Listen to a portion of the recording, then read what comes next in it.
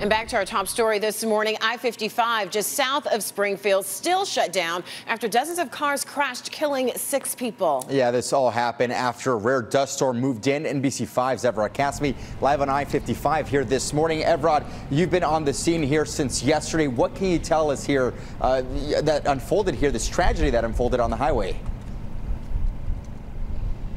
Yeah, JC and Michelle, the north and southbound lanes on I-55, where this vehicle pileup and dust storm happened, still closed this morning. And now that the sun's up, we're getting a closer look at the vehicles that were damaged in all this. Take a look for yourself. These are some of the semis that were involved, or at least what's left of the semis, and they were towed here to this lot after being involved in that pileup yesterday. You can see how extensive the damage is here. A lot of burns from the fires as they both caught fire. We know that at least two semis caught fire.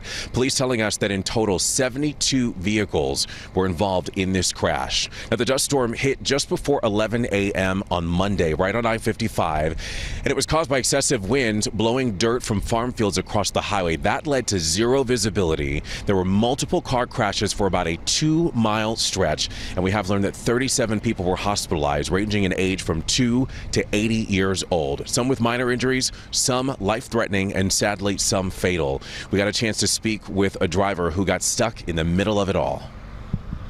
This sandstorm just rolled right in, uh, kind of like a blackout basically. You couldn't even see a foot in front of you. Uh, and then, yeah, this is like the classic thing where the cars slow down and try to slow down, but some people don't. And you just hit the people behind you, they hit the people in front of them, pushes you into more people, and then some people try to swerve and avoid it, but then they hit other people. Just causing that chain reaction there. And sadly, we have learned, as you mentioned, that six people were killed. And we've just learned the name of one of the victims. 88 year old Shirley Harper of Franklin, Wisconsin, was killed in yesterday's crash. The Montgomery County Coroner's Office is working diligently to identify the five other victims and notify their families. And back out here live again, these semis are just uh, part of the vehicles that were damaged in the pileup yesterday. We're told that at least two semis caught on fire, and that's the extensive damage that you're seeing there behind me. As I mentioned, I-55, both the north and southbound lanes where this vehicle pileup and dust storm happened, still closed this morning. Illinois State Police are investigating.